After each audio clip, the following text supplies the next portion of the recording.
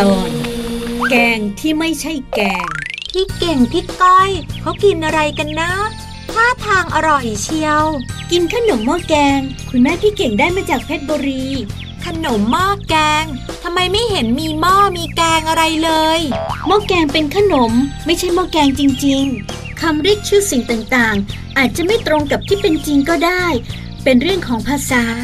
อ๋อ อย่างที่เรียกว่า หูฉลาม ก็ไม่ใช่หูของฉลาม ปูอัด ก็ไม่ใช่ปู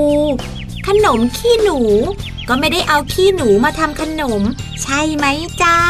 ใช่แล้ว และปลาวานปลาหมึก ที่เขาว่าไม่ใช่ปลา ก็เรียกว่าปลาได้ ชื่อเรียกสิ่งต่างๆ เป็นคำที่ใช้มาแต่โบราณ บางอย่างอาจจะตรง แต่บางอย่างอาจจะไม่ตรงกับลักษณะจริงของสิ่งนั้นก็ได้ แล้วพบกันใหม่นะคะ